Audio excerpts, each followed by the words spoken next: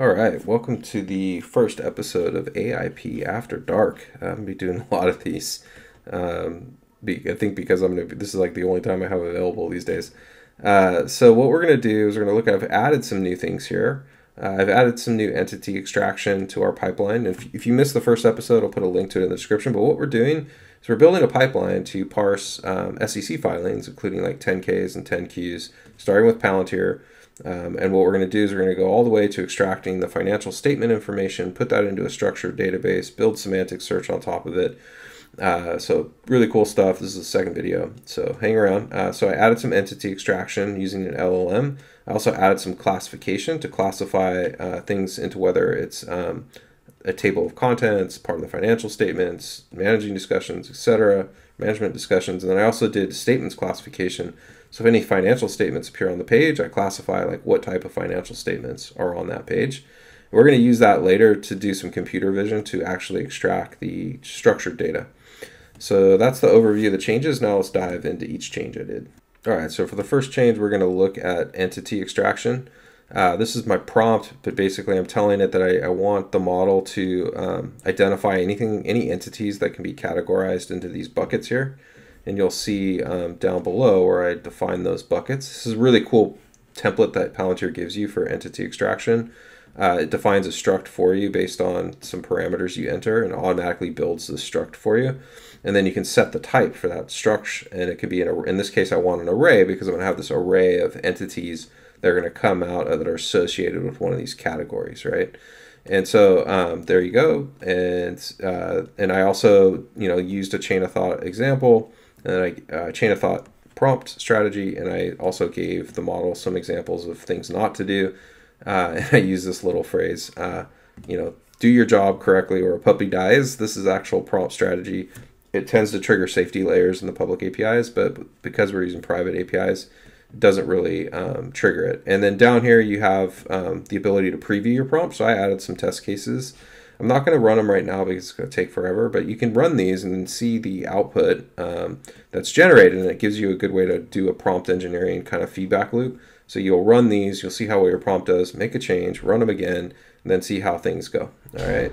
And if you want to change your model configuration, you can do that by clicking this little button here, and then you can you can change the model uh, that's associated with this. Uh, and again, when I started, I tried Mixtral, uh, Mixture of Experts model, uh, which is uh, right here, uh, the eight uh, eight by seven billion, and it was terrible. So uh, GPT-4 is still uh, the list that I have the best. I would like to try Claude 3. Um, it's not in my stack; it's in other stacks, and it seems to perform really, really well. So I'll probably be switching over to Claude 3 if I if I get access to it. Just a side note too, you can add descriptions in here, and you can generate the descriptions, and these will show up on the nodes. That's where those rollovers that had the descriptions I was showing you earlier. That's where you define these and just use the generate function. It's pretty easy. And then make sure to give your, your node a name. Uh, we're going to go back to the graph and we're going to jump into the next uh, step, which is classification. Uh, but before I do that, just remember also you can color code your nodes. Um, so you can select which color and then you can also add new colors here. Uh, and then you can filter by those uh, in the um, uh, in the what is these called again? Oh yeah, the legend. so if you want to filter by node type, which makes your life a lot easier if you're trying to find things. All right, so let's take a look at classification. Uh, the classification prompt is a bit more involved. Um, it's still a chain of thought prompt. Um, and I basically am telling it, hey, look, your job is to classify um, the things that are on, classify this page into one of the following categories, right? Table of contents, financial statements, management discussion, disclosures, etc. Right? And I again chain of thought, um, and then I give it an example, tell it what not to do, and then um, again I'm using GPT-4. Then I want that outputted into a category column. We're to go ahead and run this now since there's only one to run. Hopefully it doesn't take forever. Um, sometimes it can take quite a long time for uh, these previews to come back. Also, when you build these things, like they will take a long time um, when you're using LLMs. And you do need to be conscious when you're building workloads like this and selecting Pipeline Builder as your tool of choice, exactly how much data you have to process. Uh, and as you can see here, this is correct. By the way, financial statements is the correct category for my sample data I chose. Um, uh, but back to my point, uh, if you have a lot of data you need to process, um, say you have millions of rows, right? Like Pipeline Builder, to my knowledge, doesn't support batch processing with the chat completions APIs, uh, with like say OpenAI's chat completion API. So you are going to have to use code to do that. So like be very conscious of that. I'm going to show you examples to um, when we build out this pipeline of using the AIP orchestration tools for um, your pipelines and transforms that leverage LLMs and code authoring because you can rate limit them, you can retry them. So like when you hit limits when you're processing lots and lots of data, um, not only can you use the batch processing APIs, but you can rate limit, uh, deal with rate limiting, and deal with retry mechanisms in code in a very clean way. But for Pipeline Builder, uh, try to just stick to, to things where you don't have millions of rows or tens of thousands of rows. Uh, probably best for things that like are under um, a thousand rows or something like that. Uh, but I'll you know I'll be exploring that topic a little bit more about the limits of Pipeline Builder when you're applying um, LLMs. So the last uh, last thing we're going to look at next is the statement uh, categories. All right, so statement categories. Here we go. Uh, basically, I just wanted the LLM to tell me if there was a um, if there were financial statements, uh, what type they were. Right. So like, is is there operating income? Uh, is it a general like a consolidated income statement, a balance sheet, cash flow? Uh, an equity statement, etc. And you could add more of these. Like I'm just kind of in a hurry, and I based it off what's in the Palantir documents. You, of course, you could add more of those. Um, and then basically, I'm telling it, hey, look, it's an array because there might be multiple statements on the same page. Uh, you can output it as a string. Uh, we're going to go ahead and, well, I got quite a few them here. We're not going to preview them, but we are going to look at the output in the outputted data set I built, uh, and you'll be able to see them there. So we'll just go back to the graph, and, and all I did again was update my, um, my, my output table. And we're going to go ahead and look at that output right now. Uh, so like here's my output data set.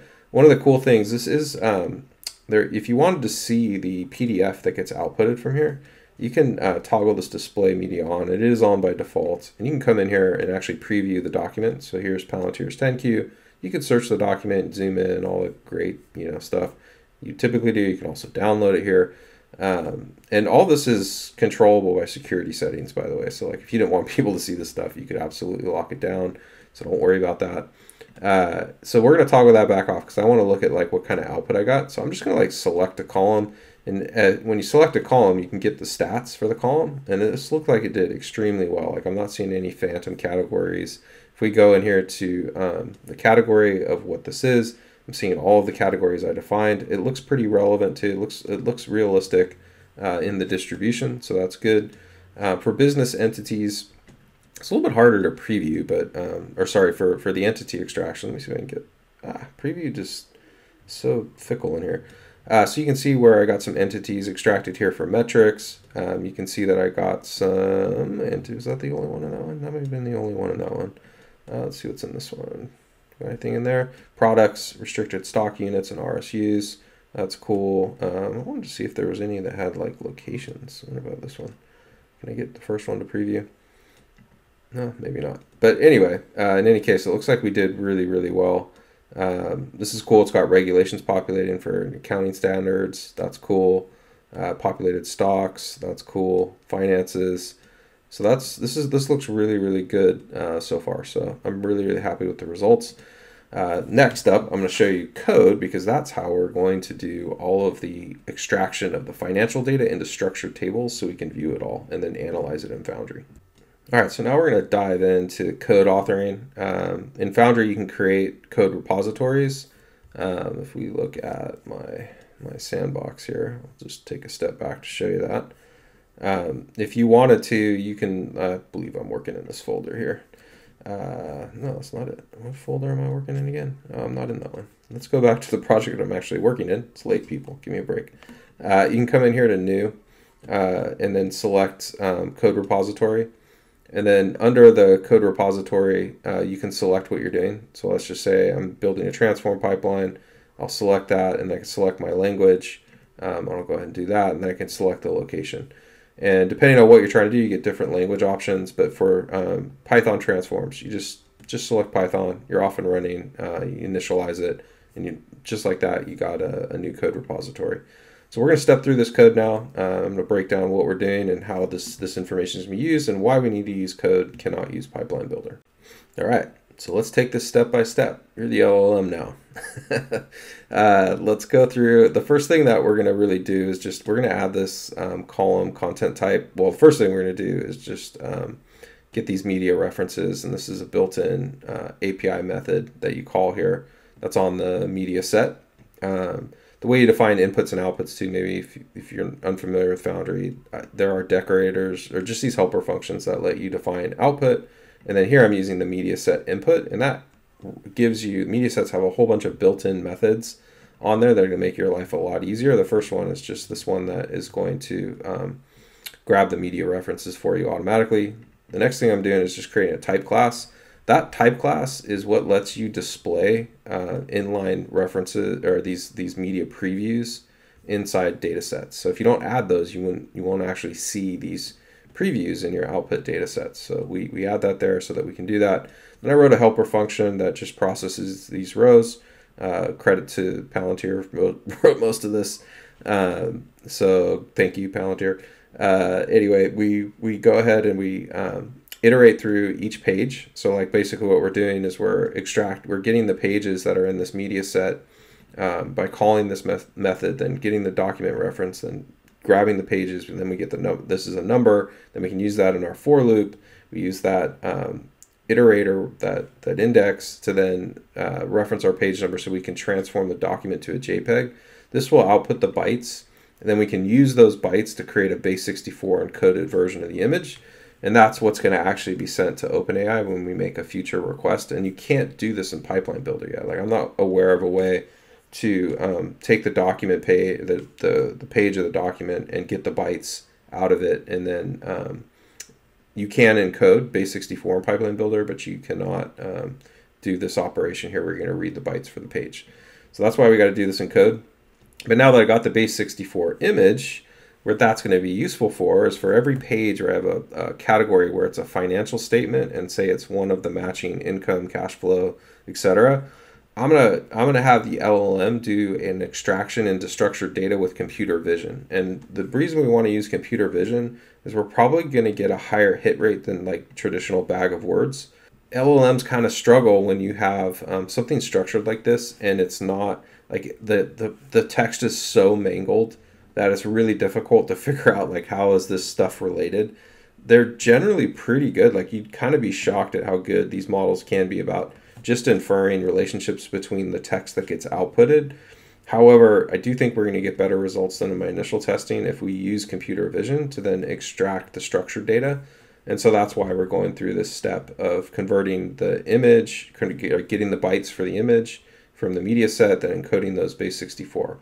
Now what we're going to do once we, uh, I did build this data set and I did get um, output. And here you can see I'm creating the columns uh, that are going to be outputted for my row. Uh, and then down here, I'm going to um, add another column, uh, and then I'm going to output the data set with this write operation. Um, so this is just saying, hey, go ahead and write this frame, and that's going to allow me to specify my type class. Uh, you don't have to call write. You can just return your data frame a, uh, when you're outputting only a single table, but I do need to make sure we include this type class. And so I'm just going to call write uh, on that thing. And so here's my output. This table was outputted. We're just going to go ahead and uh, take a look at that real quick. There we go. Sorry about that. I don't uh, I don't know what happened, but my browser froze, so I just had to go relaunch this thing. Actually, I already have it open over here. Uh, so this is the output data set. Uh, it's got our um, base64 encoded image, which you can see here. Uh, probably looks like gobbledygook to you, uh, but that is a uh, serialized version of an image which we can send to our computer vision model now. And um, we're going to use that uh, to replace our input table in the pipeline we built. So everything up to here is what I just did in our code version of this. Um, and what I need to do is replace the input table because, again, I need that base 64 encoded version of the image in order to send the request to the computer vision model. So I'm just going to replace that. Um, this will be in the next video, by the way. I'm going to replace that, and then we'll rerun the pipeline. We'll get our output, and then I'm going to show you how we can extract structured data from any of the um, pages that we've identified uh, in our in our output data set where the category is a financial statement and um, this array is populated. And then what I can tell the model is this is a financial statement that contains one of the following uh, uh, statements. Extract the data in a structured fashion. I'll tell the model the structured format I want that data extracted. And then we can use that to put it in ontology objects, which can then be visualized inside Foundry. So not only will you be able to do semantic search and run across all of the data to find things you're interested in, uh, you'll also be able to view all of the financial data extracted from the 10Q, and we can visualize all of that as well. So stay tuned for that. That'll be um, the next episode. We're going to do the computer vision, and then the episode after that, we're going to power through and do the semantic search application layer. Uh, and I'll show you how to write functions on objects and TypeScript and how to um, work with the ontology APIs, the object set APIs to search over uh, the vectors. I'll even show you how to add a distance metric to your vectors uh, in Foundry, so you can you can actually compare like um, you know how closely how closely do these um, vectors actually match. Um, so stay tuned. We've got a lot more coming your way, but I hope you enjoyed uh, AIP After Dark.